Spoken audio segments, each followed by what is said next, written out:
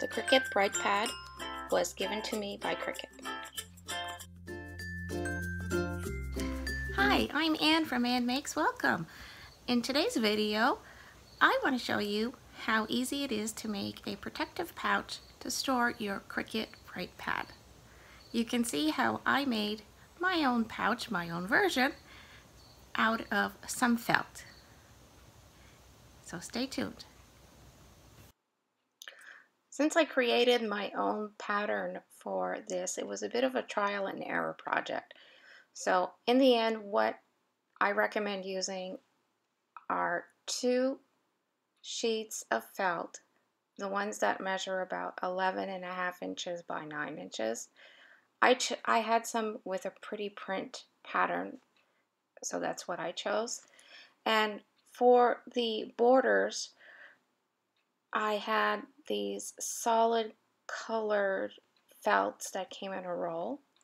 They were approximately five inches wide and I cut them down the center.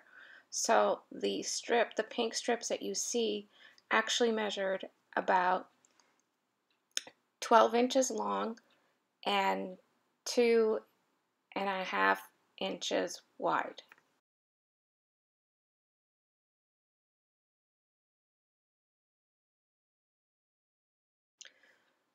After I've cut all the pieces, I pin them securely together before I take them over to my sewing machine. I want to pin um, the two, two sides so I can just keep on sewing. And remember that whatever I am doing here to one piece of felt needs to be done to the other. So you will have two panels, two complete the panels when you are done.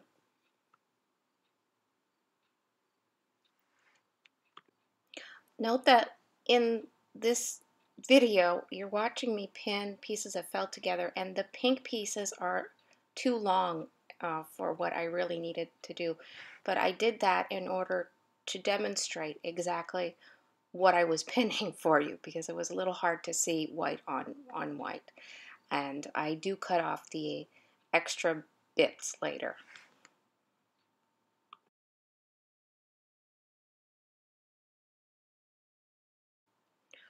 Now I'm ready to sew the felt pieces together to create one large panel. Uh, it's just a simple straight stitch. I had mine set at 2.5 and it's just regular sewing machine, regular sewing needle, regular thread.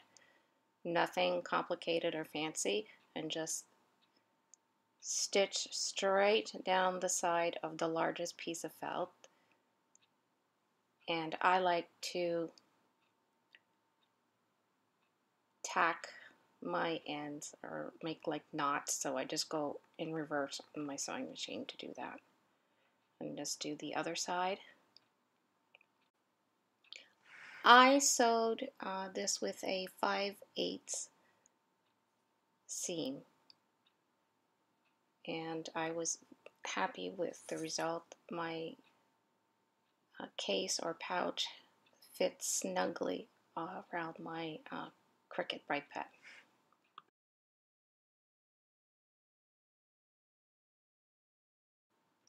At this stage, uh, you can pin the other two strips to the other two sides.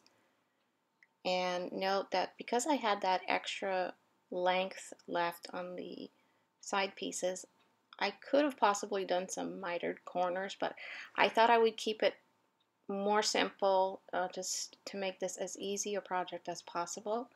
So I recommend you just cut off those extra long ends if you happen to cut them too long like I did and just sew straight down uh, the side there to hold the pink band to the print felt with again with a 5 8 5 8 inch seam and you will be all set.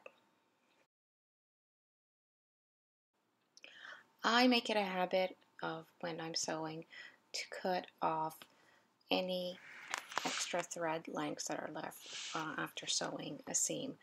It's just, I just find it easier to cut the threads as I am going along. Now you've made one panel, just make a second one, and then we go to press the seams open.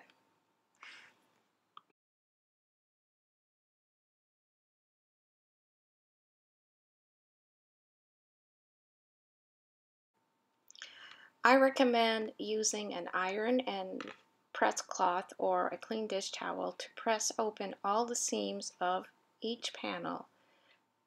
This will reduce the amount of bulk that you will have once you flip over the pouch. So all you have to do now is to sew three edges together, remembering to leave one end open because that's where you will slip in the Cricut Bright Pad.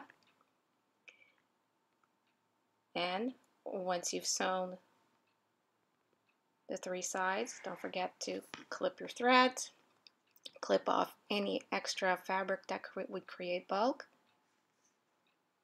and turn it inside out inside out or outside in just like you would a pillowcase. You can use uh, a pencil or some blunt scissors to make nice points inside the corners there of the case.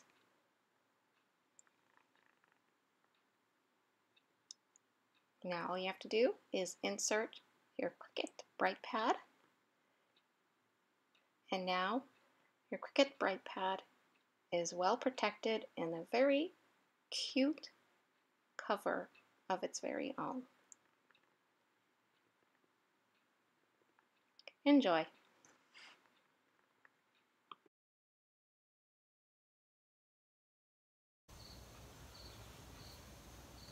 For more information regarding the felt pouch that I made for my Cricut Bright Pad, uh, please go to my blog at annmakes.blogspot.com.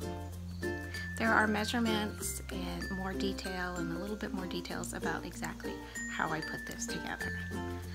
I want to thank you so much for watching the second video in this series of videos and I hope you'll come back to see the third video that I have about how to use your bright pad to help you trace and create some art of your own.